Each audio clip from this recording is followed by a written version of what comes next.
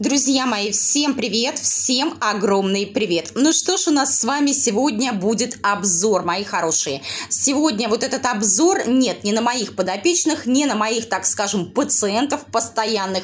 Все пациенты будут позднее или были уже ранее. А вот я прилетела, и я что хочу сказать. Я когда всю эту ситуацию услышала относительно тех действий, которые сейчас происходят на Украине, конечно, они меня, естественно, очень-очень затронули. Я уже говорила в своем предыдущем обзоре о том, что а, моя, а, для меня Украина и Россия – это две страны, которые неразрывно связаны, а, не только потому, что это наши братские народы, но еще и потому, что а, часть моей семьи – это Россия, часть моей семьи – это Украина, мои корни с Украины, да, по отцу, поэтому в любом случае для меня это не просто соседняя страна, это не просто, так скажем, какие-то непонятные земли, какие-то непонятные территории. В общем, ладно, не об этом сейчас будет речь. Вы знаете, я а, давно хотела запилить ролик, так скажем, на Самвела Адамяна, и вот сейчас, вы знаете, подвернулся вот такой вот случай.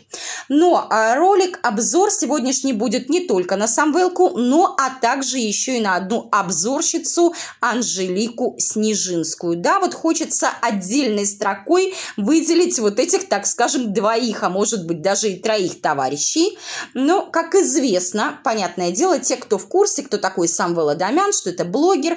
Естественно, они прекрасно знают, кто такая Анжелика Снежинская. Это женщина, которая обзорщик, обзорщица, которая обозревает непосредственно всю семейку Адамянов. Всю целиком и полностью. Всех, так скажем, его а, родственников, которые также являются блогерами.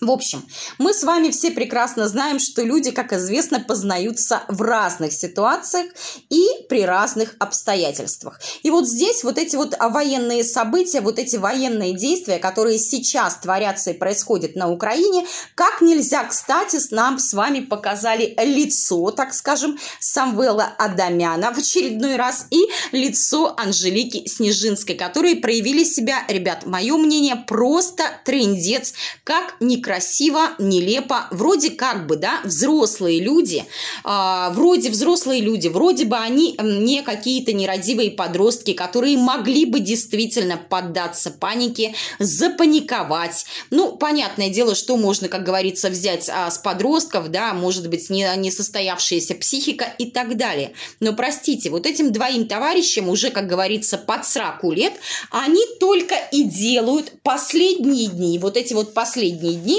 что вводят людей в заблуждение, сеют панику и рассказывают какие-то фейковые новости, какие-то фейковые истории о том, что же сейчас творится на Украине. Кстати, о том, что сейчас творится на Украине, я знаю не понаслышке, не только по новостям, потому что у меня там помимо родственников, у меня есть там друзья, которые проживают в Днепре, это вот правдивая Ольга. А, я знаю о том, что происходит в Днепре, что происходит в Кировограде, а, который сейчас а, Кривницкий, насколько я помню. Так вот, там сейчас все тихо и спокойно. Я не говорю за всю Украину, я говорю за те места, которые я знаю, где у меня живут, так скажем, люди, у которых я могу узнать всю эту информацию. Поэтому кто что кричит, понятное дело, все кричат, как говорится, по-разному.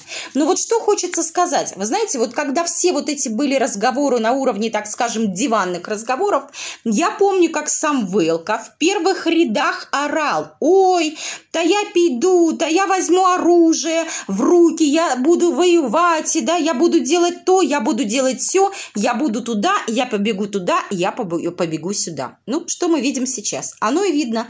Орал сам Вэлка громче всех, результат, как известно, нулевой. Сам Вэлит-то как сидел сидел на диванчике себе благополучно, так он на этом диванчике продолжает сидеть, может быть, я не знаю, шкерится где-нибудь под кроватью, пилит свои ролики, все у него замечательно, все у него хорошо. Слушайте, нет, я не против, он блогер, я не против его роликов, да? Это хорошо и замечательно, но в таком случае у меня вопрос. Какого черта вы орете громче всех, что я пойду воевать первый, я возьму оружие в руки, а вот как вас петух в жопу клюнул, вы почему-то сразу же все вот эти вот, да, товарищи, которые кричат больше всех и больше всех остальных э, людей, так скажем, стравливают и натравливают, вы почему-то в жопу клюнутые сразу же, сразу же в кусты. Самвелка друзья мои, клепает ролики. Колямбы, я смотрю, на горизонте тоже почему-то не видно. Хотя, хотя, казалось бы, куда делся Колясик? Колясик медик, естественно, он получается военно обязанный, да? И вот хочется спросить, товарищи, вы, если сейчас должны быть хотя бы не на передовой, то хотя бы, учитывая, что на Украине сейчас вообще-то, начнем с того, что, да, объявили до этого еще всеобщую мобилизацию. И, кстати, к Снежинской женской все это тоже имеет, конечно же, значение. Хочется обратиться еще и к ней, к Снежинской, да. Вроде взрослая женщина, взрослая, друзья мои, и хочется ей высказать свое просто полное фи. Знаете, круто, ребят, ну так круто быть патриотами, знаете, вот особенно меня вот эти патриоты поражают, которые кричат сейчас, сидят в Европе где-нибудь, да, там в Америке, в Канаде, где бы то ни было, и кричат, да, мы патриоты, вот сейчас на нашей Украине сейчас такая ситуация, вы, да, да, вы там идите, вы там идите, защищайте и так далее, а мы мысленно с вами. Слушайте, ну круто быть патриотом на диване, плане. Круто быть патриотом за чей-то, за чужой счет. Круто орать вот такие лозунги, да, другим детям, другим сыновьям, другим людям. Вставайте, поднимайтесь, идите, защищайте. А при всем при этом, друзья мои, вы сами прячетесь, вы сами прячете своих детей. И вот мне интересно, женщина, которая кричала, да, да, вот если бы вы в России, тоже больше бы вас стало. Это говорила вот Снежинская только сегодня на своей своей трансляции. Мне хочется спросить у Снежинской. Снежинская, а где твой сын? Вот где твой сын, да? Ты сказала, моя главная задача как матери – вывести мою невестку и моего сына. Ребят, я не против. Согласитесь, здорово.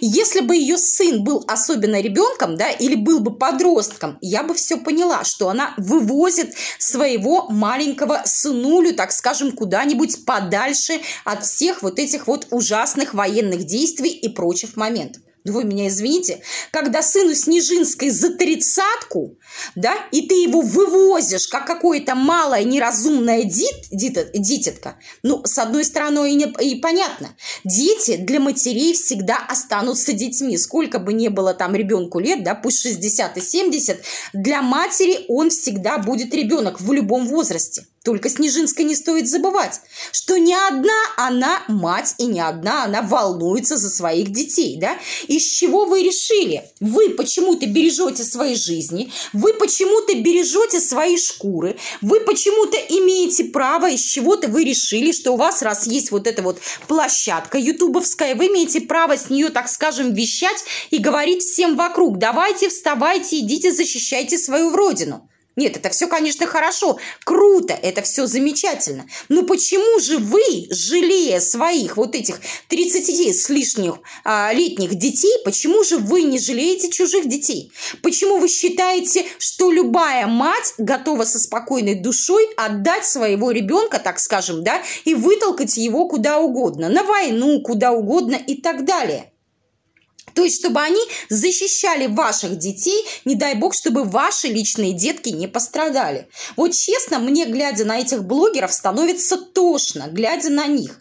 И хочется им сказать, вы что там, совсем куку? -ку? Вы что творите? Вместо того, чтобы как-то здраво рассуждать, взять себя, так скажем, а, в руки, да, вещать здраво со своих YouTube-площадок своим зрителям, да, вместо того, чтобы зрителей, так скажем, как-то настраивать настраивать на, луж... на нужный лад, они берут из своих зрителей многочисленных, вводят в заблуждение. Они просто берут и хайпуют на всей вот этой вот ситуации и заставляют людей еще больше паниковать. Это свинство. Это просто блогеры показывают, что они думают исключительно только о себе. И опять же, если у вас какие-то ненормальные сейчас идут психические состояния, да, в зависимости зависимости от того, что вам не справиться со своими эмоциями, это я говорю вот опять же к этим же блогерам, которых я уже выше озвучила, я хочу вам сказать, вы возьмите в таком случае паузу.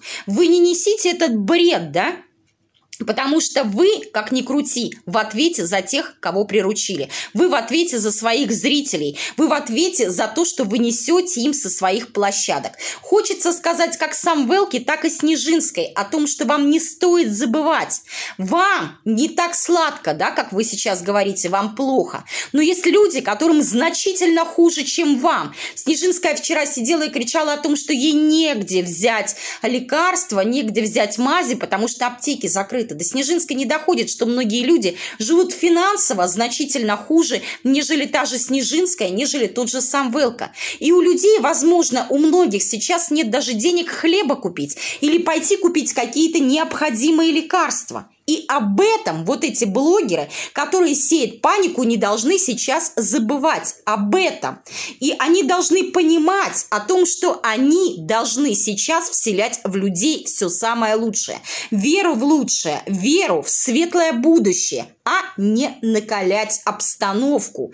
Больше и больше с каждым своим стримом. Посмотрите, что они делают. С каждым стримом, с каждым обзором они уже возводят ситуацию, просто вводят ее до апогея. Это вообще ненормальная ситуация. Думать надо, товарищи, вам не только о себе и о том, как бы вам набить свои карманы в очередной раз. Не только об этом. Сейчас пришло время, когда вы должны поддерживать свою аудиторию, поддерживать тех, кто на вас равняется, поддерживать тех, кто вас выходит слушать, слушает, кто внимает буквально каждому вашему слову. Сейчас ваше время как раз-таки помочь вашим соотечественникам, помочь людям, и сделать так, чтобы для них это все прошло значительно, так скажем, с меньшими потерями, особенно тем людям, которые в вас действительно верят.